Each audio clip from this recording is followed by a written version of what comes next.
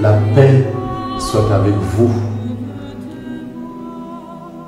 En ce temps de crise, nous sommes heureux de lire aujourd'hui la guérison de l'aveugle né.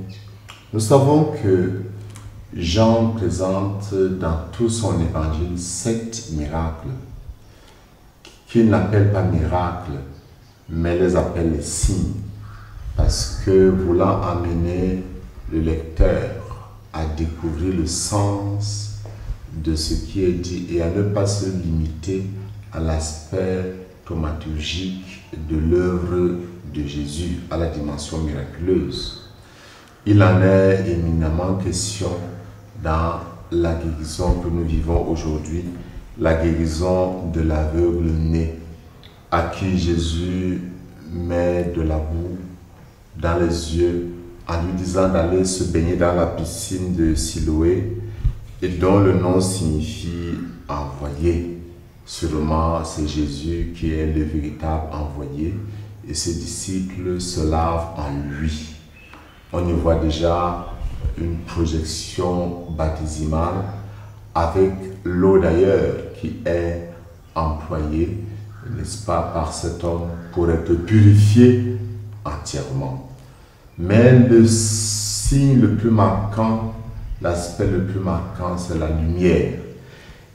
Effectivement, l'acclamation de ce jour, l'acclamation de l'évangile dit, moi je suis la lumière du monde, dit le Seigneur, celui qui me suit aura la lumière de la vie. Le prologue de Saint Jean commençait ainsi. Jésus était la lumière qui illumine tout homme qui vient dans le monde, la vraie lumière. Dans tout l'évangile de Jean, il y a cette perspective de Jésus qui se présente comme lumière. Nous n'oublions pas que même le jour de, de la présentation de Jésus au temple, il est appelé lumière des nations. C'est dans cette lumière des nations qu'il rencontre cet homme qui de la naissance ne peut pas voir. Mais l'approche catéchétique de ce texte nous donne de comprendre qu'il y a deux, deux choses. Il y a la cécité physique et la cécité spirituelle. À la première rencontre, quand Jésus guérit l'aveugle l'aveugle parle de l'homme, l'homme qui m'a guéri m'a dit. Mais il y a une progression catéchétique. À la fin, quand Jésus l'amènera dans un dialogue à professer sa foi, il ne parlera plus de l'homme. Il quittera dans la cécité spirituelle où il était encore, malgré sa guérison physique, pour pouvoir voir et les yeux de sa chair et les yeux de son cœur. Réécoutons ce dialogue.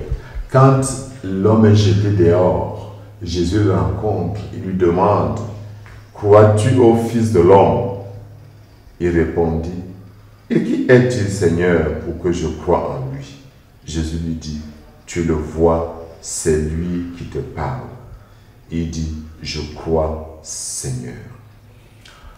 Nous voyons comme une profession de foi de Thomas, n'est-ce pas? Mon Seigneur et mon Dieu. Il faut se replacer dans le contexte biblique du temps de Jésus.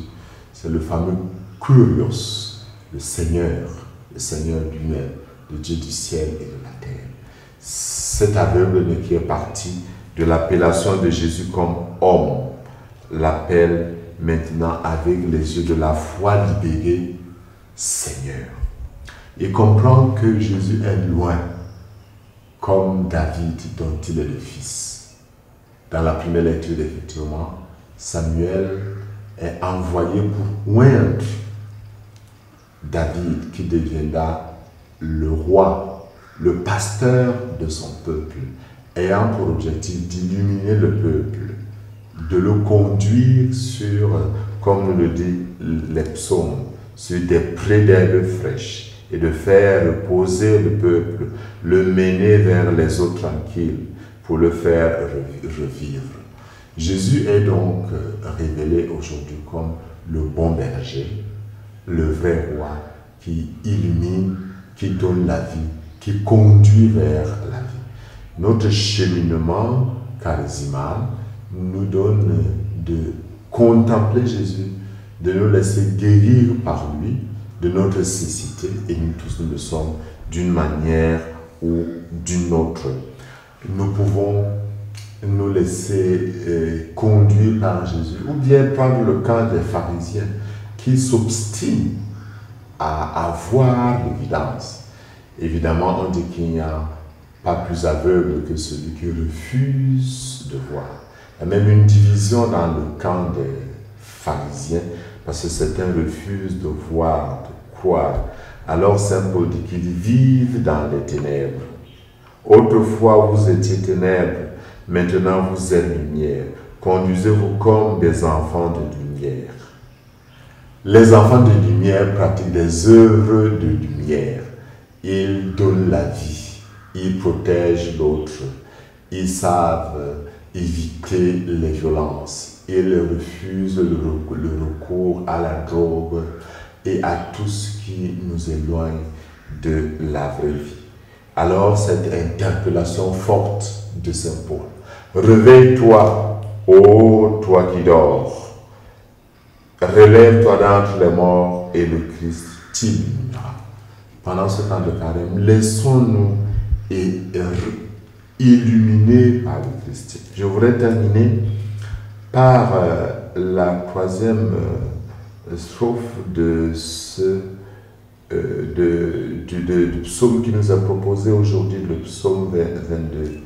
Si je traverse les ravins de la mort, je ne crains aucun mal, car tu es avec moi ton bâton me guide et me rassure. Pendant ce temps de crise, ce temps de crise de coronavirus, n'oublions pas que dans nos efforts, il s'agit d'être discipliné, il s'agit d'être prudent, il s'agit d'être responsable, refuter cette approche, n'est-ce pas, de légèreté et en nous protégeant nous-mêmes, protégeant les autres, mais soutenus par quelque chose de formidable. Même si nous traversons des ravins de la mort, nous ne craignons pas. Le Seigneur nous protégera, il nous donnera la vie.